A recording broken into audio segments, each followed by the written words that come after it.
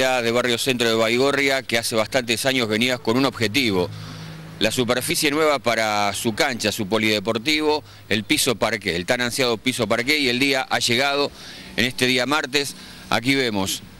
todo el piso que se está depositando en el nuevo escenario.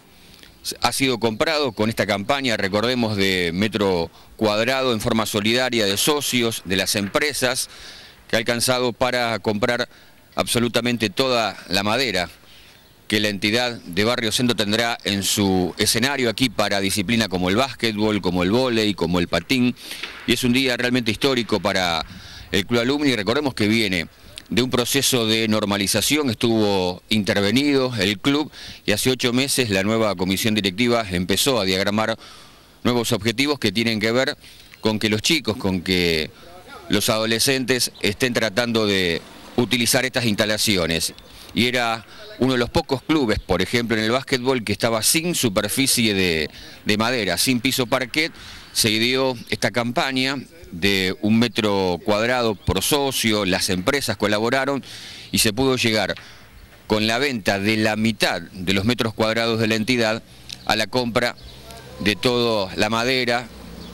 para justamente lo que va a ser la superficie. Ahora resta el costo en cuanto a la mano de obra,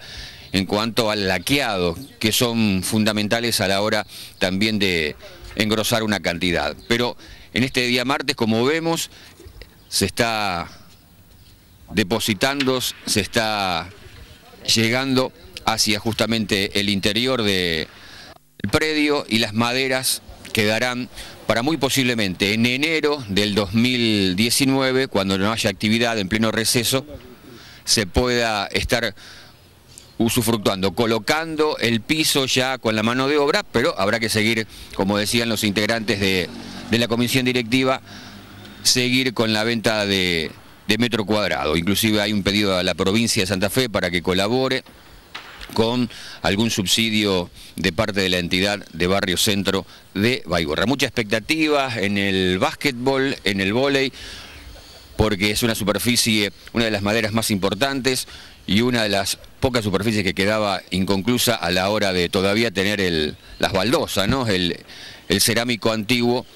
con lo que esto conlleva más potenciación para lo que es las lesiones, eh, lo que es una caída, bueno, ahora esto se va a minimizar con la llegada del, piso parque que vemos aquí se está